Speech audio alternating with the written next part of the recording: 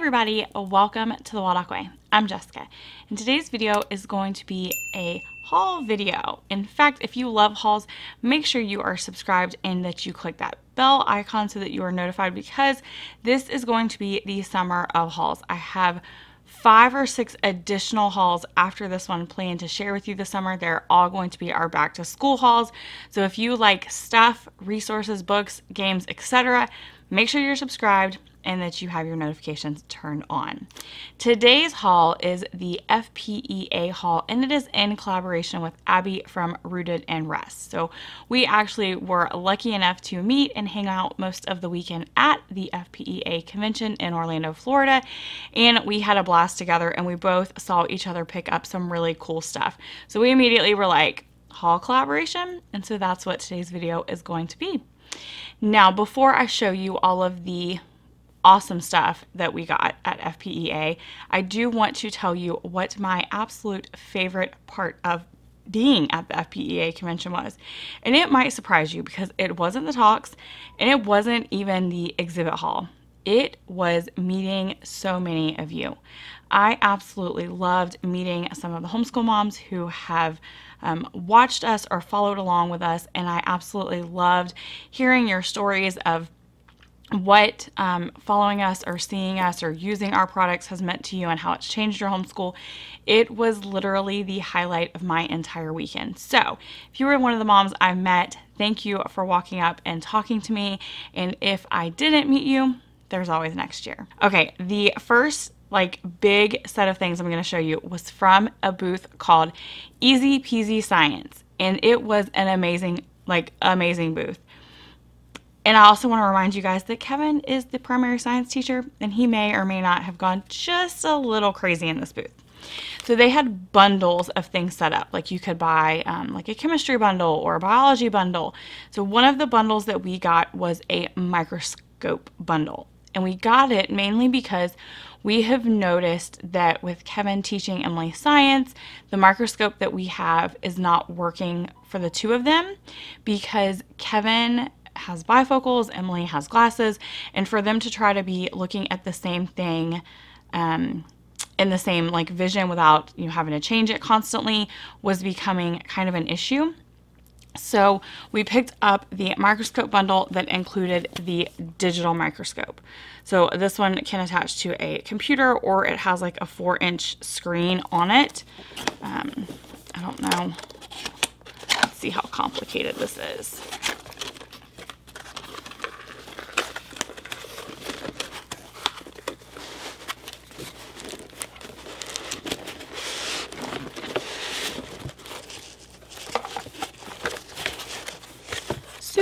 Complicated, you guys, but I can show you how big the screen is at least. So the goal with this bundle was for them to both be able to continue to wear their glasses and then just, you know, look at it on this screen. So it would make using the microscope a little bit easier for both of them. So that is one of the reasons that we picked it up. And the bundle was just super affordable because you got that microscope along with a pocket microscope that comes with lab activities in the pocket microscope. And then it also came with four um, like science kits, if you will. So there was a five second rule project kit, a hand sanitizer versus bacteria project kit, a diffusion races project kit. And then the last one that it came with was a DNA extraction project kit. So those were all included in the microscope bundle from them. The other thing that we got, because, well, you've probably heard Kevin tell you this before, science is his favorite subject because it has the best toys. And Emily was playing with this toy at the booth, and somehow or another we walked away with a bundle. So it is the Ozobot. It was actually super cool, you guys. Watching her play with this at the booth sold me on it for sure. And it, the whole bundle included this the Racer wearable skin. Three packs of the markers.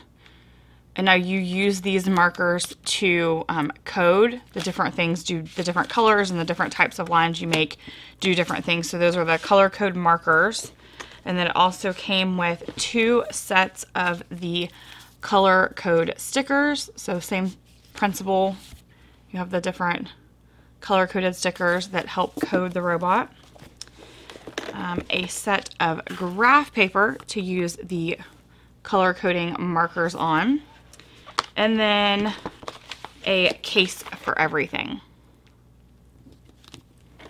So that's what came in the Ozobot bundle. So those were the two big kind of science purchases that we made from the Easy Peasy Science booth. Most of everything else that we picked up came from Miller's Pads and Papers. We normally do quite a bit of Rainbow Resource shopping, but they were not at the convention this year. Um, not to worry, because they'll have their in their own haul. We've already placed an order with them. But um, so most of what we got was from either Miller Pads and Papers or Nature Workshop. I will distinguish which is which. We're going to start with Miller's Pads and Paper.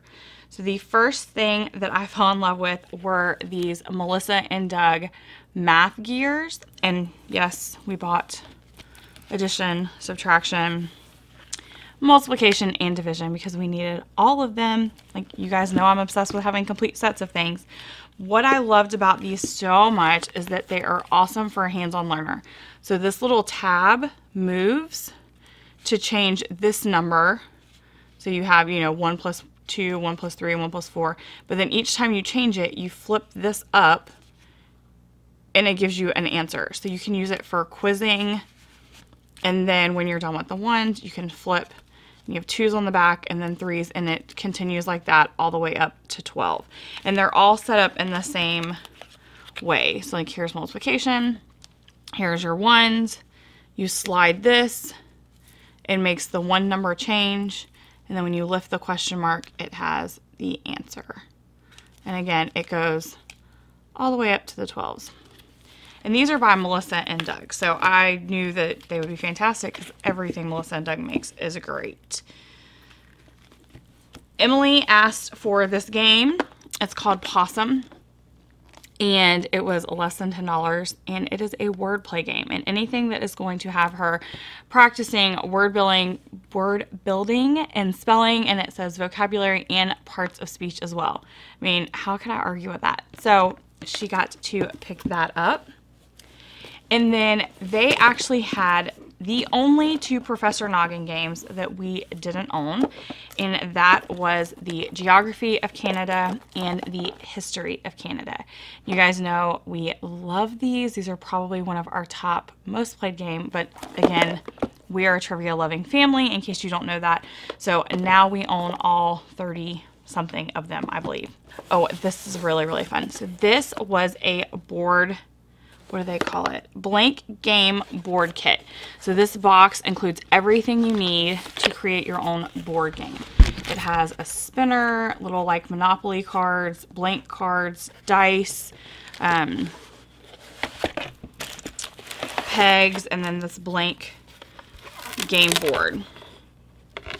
So I thought it would just be kind of a fun thing to maybe strew, let Emily create one or two different kinds of board games. So there's the, it looks like fake Monopoly money. And then these are just blank cards, so you can make, you know, whatever kind of cards you wanted. A spinner, the dice and little movers, and then a sand timer. So everything you could possibly want to create a different board, different kind of board game. I'm running out of room on the table, you guys. Okay, next up is the book Mother Culture. As soon as I saw this, I knew that I had to have it. I haven't read it, and it is one of Abby's top picks as soon as we saw it.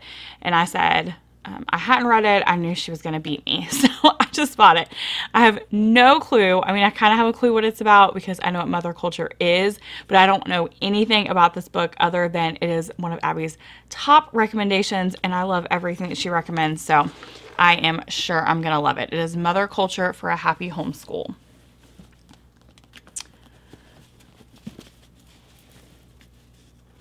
Let's see.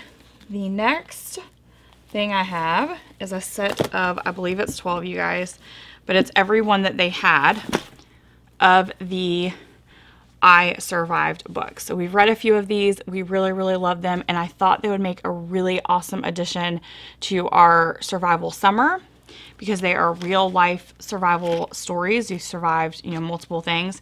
So we have I Survived the Destruction of Pompeii.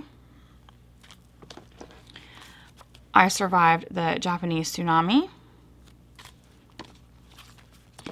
I survived the Joplin tornado, the eruption of Mount St. Helen, the Great Chicago Fire, the San Francisco earthquake, the bombing of Pearl Harbor, the Children's Blizzard. This is actually the one we are currently reading because we are doing the Blizzard Challenge from the Survival Unit. So I thought this would go very nicely with that. Uh, the Attack of the Grizzlies. The Nazi Invasion. The Battle of Gettysburg. The American Revolution. The Great Molasses Flood, the sinking of the Titanic, the Hindenburg disaster, the September 11th attacks, Hurricane Katrina, and the shark attacks of 1916. Trying really hard not to let that pile fall over. Okay, we have, oh, sorry, that's from a different shop. Hang on, we're almost there. Okay, and then this is the last thing that we picked up for Miller Pads and Papers, and it is the Draw and Write Through History. We have used um, a set of books called Draw Write Now and love them, and this seemed like a very similar style because you have, you know, the steps for drawing different things and then it's um, cursive writing versus print.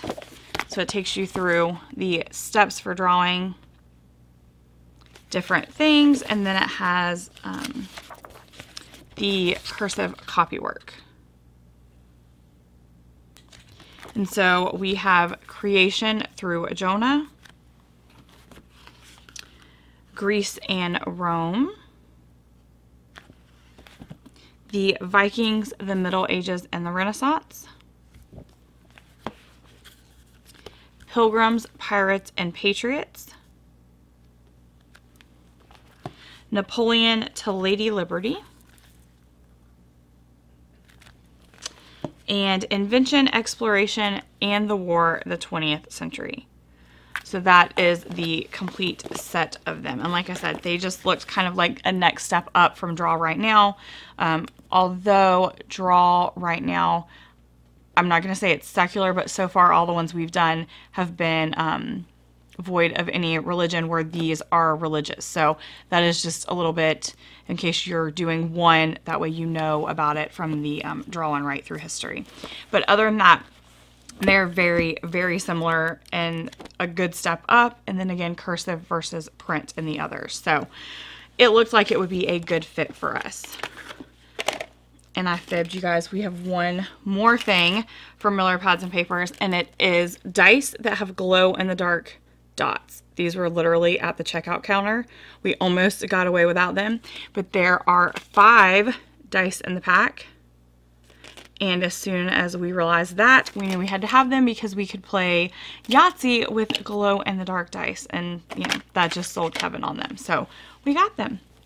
The other, like I said, the other workshop or place that I stopped was the nature workshop. And we just got a few things from there. One of which was a bird call. Kevin picked that up for Emily. Emily loves these explore books and so when she saw the frogs she wanted to have it. They're really cool. They have like human bodies and T-Rex and dogs and we have all of them except somehow we missed the frog. But every page you open goes like one layer deeper into the animal.